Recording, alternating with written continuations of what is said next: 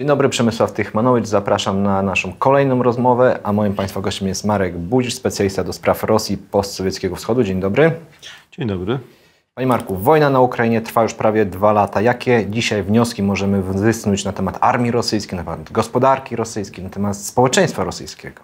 Tych wniosków jest dość dużo, w związku z tym mm, pewnie nie wyczerpiemy tematu. Natomiast w moim odczuciu można mówić o zachodzących zmianach we wszystkich tych trzech obszarach. Zmienia się armia rosyjska, zmienia się też oczywiście społeczeństwo i zmienia się gospodarka. Zacznijmy od kwestii gospodarczych. Otóż Rosja, generalnie rzecz biorąc, dostosowuje się do realiów przy e, funkcjonowania e, zarówno w pewnej izolacji, głównie jeśli chodzi o, e, o współpracę z państwami Zachodu, jak i do mm, kontynuowania wojny przez, przez, długi, przez długi czas. Zmienia się system finansów publicznych, rośnie skala nakładów na wojnę. Rosja w świetle projektu budżetu na rok 2024 będzie wydawała na szeroko rozumiane bezpieczeństwo około 120 miliardów dolarów, czyli mamy 50% wzrost wobec tego, co miało miejsce przed wojną, bo wtedy szacowano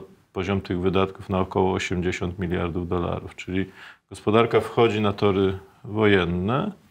Rosja nie utraciła zdolności produkowania właściwie wszystkich komponentów niezbędnych do kontynuowania wojny, w tym i na przykład pocisków rakietowych. To jest o tyle istotne, że na początku roku były takie prognozy formułowane na przykład przez brytyjskich analityków, którzy mówili, że około maja, czerwca Rosja być może sytuacji braku komponentów będzie musiała znacząco zredukować tę produkcję. Oni później, później zrewidowali te, te oceny. Więc w tym sensie Rosja lepiej funkcjonuje gospodarczo niż się spodziewano. Czyli Rosja jest w stanie sobie poradzić bez Zachodu. Rosja jest moim zdaniem w stanie sobie poradzić bez Zachodu. Nie jest w stanie zapewne się tak szybko rozwijać, jak mogłaby się rozwijać, gdyby z Zachodem współpracowała. Ale tym zmianom gospodarce rosyjskiej towarzyszą też zmiany na poziomie społecznym czy na poziomie mentalnym. Mamy do czynienia ze zjawiskiem, które Rosjanie nazywają unarodowieniem elit, czyli elity zaczynają myśleć w kategoriach e, państwowych i też e, konsekwencją tego będzie odwrócenie strumieni kapitałowych. Kapitał nie będzie transferowany z Rosji na Zachód, będzie jakby reinwestowany w Rosji, co zdaniem rosyjskich ekspertów jakby pobudzi wzrost gospodarczy. No i ma miejsce też konsolidacja społeczeństwa rosyjskiego wobec, wokół autorytarnej władzy. Przeciwnicy zostali wypchnięci z kraju na emigrację. Ci, którzy byli sympatykami Rosji demokratycznej czy Rosji liberalnej, oni w sporej części wyjechali albo zmienili swoje, swoje nastawienie. Więc w tym sensie Rosja będzie bardziej skonsolidowana, z być może inną gospodarką, ale zdolną utrzymywać y, wysiłek wojenny i będzie też państwem w związku z tym zdolnym do kontynuowania wojny. Elementy, o których Pan mówi, to raczej nie są elementy, które właśnie sprzyjają szybkiemu zakończeniu wojny. Nie, to są elementy, które sprzyjają e, myśleniu o wojnie jako po pierwsze o pewnym etapie starcia, który, które ma miejsce nie między Ukrainą a Rosją, ale między Rosją a szeroko rozumianym obozem Zachodu w tym sensie wojna na Ukrainie jest tylko etapem pewnego mm, procesu, który będzie miał jeszcze konsekwencje. E, po drugie, musimy też zwrócić uwagę na jeden zasadniczy fakt, a mianowicie Rosjanie uważają, że oni tę wojnę wygrywają, a nie tak jak e, utarło się na przykład w Polsce, choć ja nie podzielam tej oceny, że oni ją przegrywają. Otóż Rosjanie uważają, że wojnę na Ukrainie wygrywają, są w stanie ją wygrać w wymiarze strategicznym, co oznacza też rewizję pewnych celów wojny, tak jak one były formułowane zaraz po agresji, po agresji na Ukrainę, ale to nie przeszkadza myśleć, że wojna jest, czy czas pracuje na korzyść Rosjan. Mówi pan, że Ukraina to etap, a kolejne etapy jakie mogą być? Właściwie niewiele się zmieniło od czasu tej, te, tego tej propozycji, tak to ujmijmy, którą sformułował Putin w grudniu roku 2021, e, to były propozycje związane z nowym statusem bezpieczeństwa dla Europy Środkowej. On tam formułował żądanie wycofania instalacji wojskowych natowskich i sił natowskich, nawet w komponencie rotacyjnym z państw, które weszły do NATO po roku 1997. I Rosja trwa przy tych, przy tych oczekiwaniach.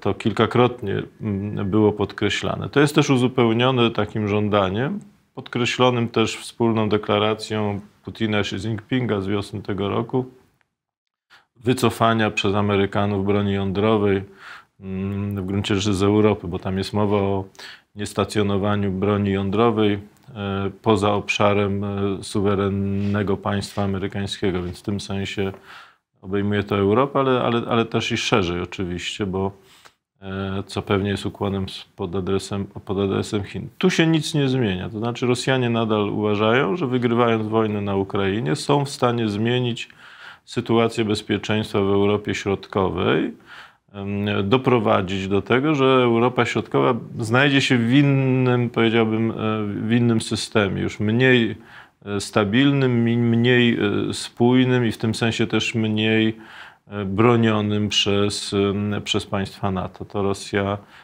nie zarzuciła tej, tego celu. Zmieniła się, zmieniły się oczekiwania wobec Ukrainy, moim zdaniem. Pierwotnie na Kremlu uważano, że są w stanie opanować Ukrainę w sensie politycznym, to znaczy wykonać krótkie uderzenie wojenne, które zachwieje władzą w Kijowie. Do głosu dojdą siły prorosyjskie i w sensie politycznym to umożliwi przez, przestawienie Ukrainy, tak jak w tym samym kierunku jak, jak Białoruś. Teraz moim zdaniem oni tę myśl zarzucili i oni dzisiaj uważają, że Ukrainę powinni po prostu fizycznie zniszczyć. To znaczy uczynić z tego państwa taki stan, takie, takie państwo, które nie będzie w stanie samodzielnie funkcjonować i będzie na tyle źródłem problemów dla sąsiadujących z nim państw i szerzej dla bloku Zachodu, że e, Zachód nie będzie miał ani siły, ani chęci przekształcenia w to, co Rosjanie nazywają Ukrainy, w taran zwrócony przeciw, przeciw Rosji. W tym sensie kontynuowanie wojny, tego rodzaju interes strategiczny rosyjski moim zdaniem realizuje. Czy Rosja jest zagrożeniem dla Polski? Ależ oczywiście, że tak. Rosja jest zagrożeniem dla Polski, ale nie w wymiarze doraźnym, to mhm. znaczy nie takim, że za tydzień czy za miesiąc oni się odważą na jakieś e, agresywne działania. Chociaż takie nękanie, jak na przykład e, próby uszkodzenia infrastruktury podwodnej, co ostatnio miało miejsce, zapewne z tym należy się, się liczyć. W wymiarze strategicznym Rosjanie, to było bardzo widoczne w tym ostatnim artykule Miedwiediewa, e, poświęconym w całości relacjom z Polską. Oni uważają, iż w Europie Środkowej nie ma płaszczyzny kompromisu, to znaczy ten obszar tych państw między Rosją a Polską, Ukrainę, Białoruś, też i państwa bałtyckie, no albo Polska może kontrolować, albo, albo, po, albo może te państwa kontrolować Rosja. I tu się nie można umówić na, na jakąś współpracę, a w związku z tym to jest sytuacja zero-jedynkowa. Jeżeli Polacy będą ten obszar, w sensie politycznym oczywiście, bo nikt nie mówi o budowaniu, chociaż Rosjanie nieraz o tym mówią, o odtworzeniu I Rzeczpospolitej, ale wejście na przykład Ukrainy i Białorusi do NATO no, oznacza odepchnięcie Rosji y, z Europy, oznacza, że powstaje pewna no, nowa konfiguracja w obrębie NATO w Europie środkowo-wschodniej. Polska siłą rzeczy, ze względu na swój potencjał, położenie i demografię, będzie tu odgrywała główną rolę. I w tym sensie oni widzą w Polsce głównego rywala strategicznego w Europie, w Europie Środkowej. W związku z tym albo my wygramy, albo oni wygrają. Jak, jak, wygramy, jak wygramy oni w ich rozumieniu, czyli, czyli Polska, no to Rosja będzie poza polityką europejską. Co więcej, ta konfiguracja środkowoeuropejska, jak oni, o tym pisał choćby Miedwiediew, będzie miała zdolność rozgrywania karty chińskiej. Dlatego, że Chińczycy muszą dowieść swoje towary na chłonny rynek europejski, a, a postawa państw naszego regionu ma tutaj zasadnicze e, znaczenie, co też strategicznie może osłabiać e, pozycję Rosji, więc to też utwierdza Rosjan przekonaniu, że ten, powiedziałbym, te geostrategiczne plany Polaków trzeba obalić. E, to nie musi oznaczać wojny, to z pewnością będzie oznaczało pewną presję polityczną, którą się buduje również przy użyciu narzędzi o charakterze wojskowym. No to e, tej, tej granicy między wojną a pokojem można nie przekraczać, ale, ale ten czynnik presji wojskowej będzie narastał. Wspomniał Pan o tych incydentach. E, jak powinna odpowiadać strona polska? Czy przede wszystkim nie powinniśmy się dać sprowokować? No, przede wszystkim e, trzeba rozwiązać główny problem, czyli atrybucji. No, trzeba wiedzieć, kto odpowiada za tego rodzaju incydenty. No, to, to oznacza, że trzeba w sposób stały przy możliwie, stosując możliwie dużą liczbę systemów śledzenia, obserwować całą tą przestrzeń pogranicza polsko-rosyjskiego, też i polsko-białoruskiego, również Morza, Morza Bałtyckiego. Amerykanie budują taką koncepcję e, e, odstraszania, jeden z think tanków amerykańskich, odstraszania przez wykrycie. Mianowicie to powinien być system, który sposób y, w czasie rzeczywistym, bo dzisiaj to tak, y, tak nie działa. Dzisiaj mamy obserwacje cząstkowe związane z, z usytuowaniem y, satelitów, które nie obserwują tego, co się dzieje w takim ujęciu 24 godziny na dobę przez 7 dni w tygodniu. Więc to jest jakby pierwszy, pierwszy element. Drugim elementem, bo musimy wiedzieć, kto za dane działanie, za, za dane działanie odpowiada. Drugim elementem jest oczywiście rozbudowa szeroko rozumianego potencjału, zarówno potencjału, dzięki któremu nie dopuścimy do tego rodzaju mm, incydentów. To zależy od domeny. Mm, mogą być albo siły operacji specjalnej działające na morzu, albo, albo innego rodzaju y, zdolności. No, tu jest cała sekwencja działań, które, które trzeba podjąć. Również my musimy być przygotowani na ewentualne ataki, e, e, dlatego że współczesna wojna w gruncie rzeczy to też widać wyraźnie w Izraelu po tym ataku Hamasu. Współczesna wojna polega na znalezieniu słabego punktu przeciwnika i właśnie tam wykonania uderzenia, czyli e, przeciwnik nie będzie uderzał tam, gdzie my jesteśmy silni i mamy na przykład rozbudowany potencjał, tylko tam, gdzie jego zdaniem jesteśmy najsłabsi. Jeżeli mamy nieprzeszkoloną ludność cywilną, która nie wie, jak się zachowywać w sytuacji zagrożenia i jeszcze na przykład jest nieuzbrojona, to ja bym raczej spodziewał się e, e, aktów agresji porównywalnych do tego, co zrobił Hamas 7 października w Izraelu. Ale to jest oczywiście pewna hipoteza. To pokazuje, że współczesna wojna e, nie dotyczy tylko sił zbrojnych. Ona właściwie, siły zbrojne są tylko elementem systemu bezpieczeństwa. Ona dotyczy całego państwa, w tym i też społeczeństwa. I to będzie ta nowa sytuacja wymuszała zmiany we wszystkich tych obszarach sama rozbudowa i modernizacja armii nie zagwarantuje nam bezpieczeństwa. Mhm. Chciałbym jeszcze wrócić na chwilę do samej Rosji. Kto w niej tak naprawdę sprawuje teraz władzę? Mamy różne filmiki, pojawiają się różne spekulacje, że może Władimir Putin to w ogóle już nie żyje. No, ale spekulacje mają to do siebie, że, że mają niewielką siłę przekonywania. Jeżeli ktoś przedstawi dowody na to, że Putin nie żyje, to wtedy warto o tym, o tym rozmawiać. Dzisiaj należy zakładać, że Putin żyje. Większość analityków, ekspertów, też i rosyjskich, którzy od lat specjalizują się w, w opisywaniu tych różnych podziałów i i, i, sytuacji na najwyższych szczeblach rosyjskiej władzy, uważa, że władza Putina w, w, sytuacji wojennej uległa wzmocnieniu.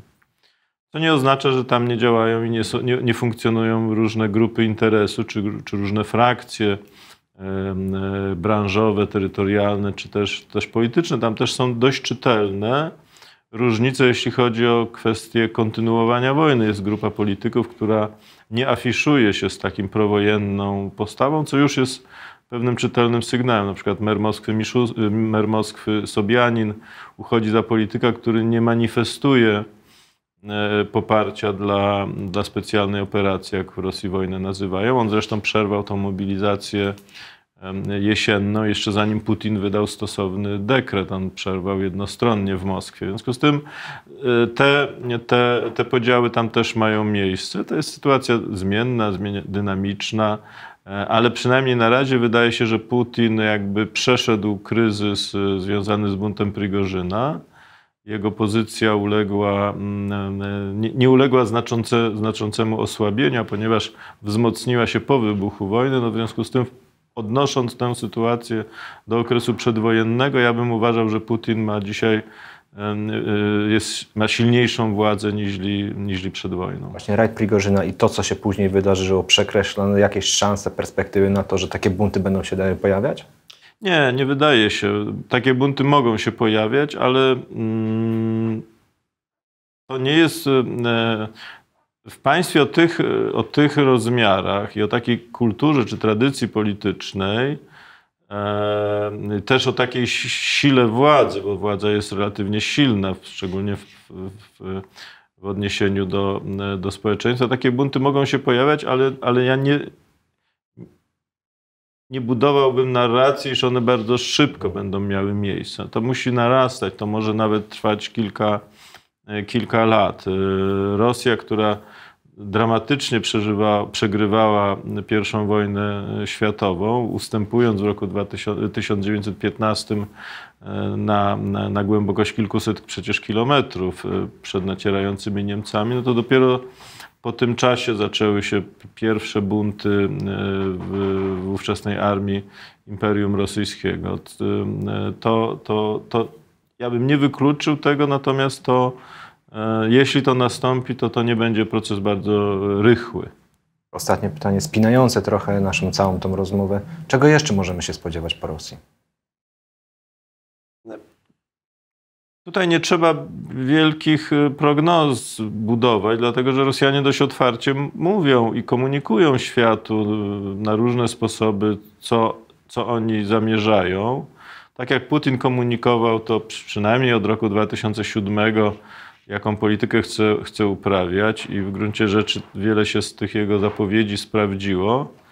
Problem polegał na tym, że wówczas Zachód nie słuchał i dzisiaj ja mam wrażenie, że też y, Zachód, ale też i opinia publiczna w Polsce też nie słucha tego, co mówią Rosjanie, a moim zdaniem warto słuchać. Oni po pierwsze mówią, że czynnik wojskowy będzie jakby stałym elementem gry w relacji, relacji mocarstw, czyli siła będzie tą normą, która, która będzie budowała relacje między, między państwami i oni zamierzają posiadać wielką i nowoczesną, e, nowoczesną armię. Po drugie, oni uważają, że nie ma powrotu do relacji z Zachodem sprzed wojny, co u nas pokutuje w takim myśleniu, że e, zwycięży koncepcja business as usual.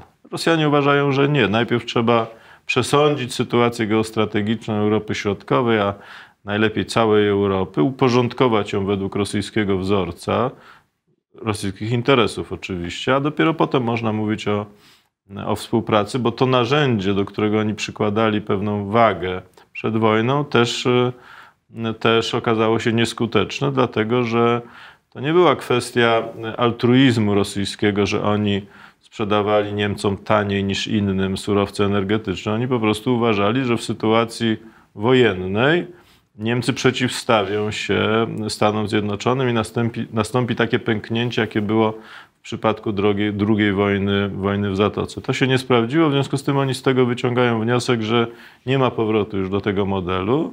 Natomiast czeka nas kilkanaście lat zbrojnego pokoju. Ten zbrojny pokój na obszarach zdestabilizowanych, takich jak Ukraina, w tych strefach zwarcia, będzie co jakiś czas przekształcał się w sytuację wojenną. E, natomiast na innych obszarach, czyli na całej wschodniej e, granicy z NATO, no będziemy się sprawdzać, czyli będą podejmowane próby destabilizacji, próby dywersji, wywierania presji, alarmy wojskowe, różne incydenty, prowokacje też i w związku z rosyjskim potencjałem e, nuklearnym. I wtedy, kiedy oni uznają, że gdzieś jesteśmy słabi, to tam zwiększą presję właśnie po to, żeby osiągnąć swój cel cel polityczny. To nie musi oznaczać wojny, mm, ale im bardziej będziemy słabi, tym ich skłonność do zwiększania presji wojskowej może, może rosnąć. Czyli tu, tutaj jest taka mechanika. Jak chcemy pokoju, to musimy, musimy być coraz silniejsi, a nie rozbrajać się, bo to zachęci drugą stronę do, e, do agresywnych kroków. Tak jak powiedziałem, to było moje ostatnie pytanie. Marek Budzisz był moim Państwa gościem. Bardzo dziękuję za rozmowę. Dziękuję bardzo.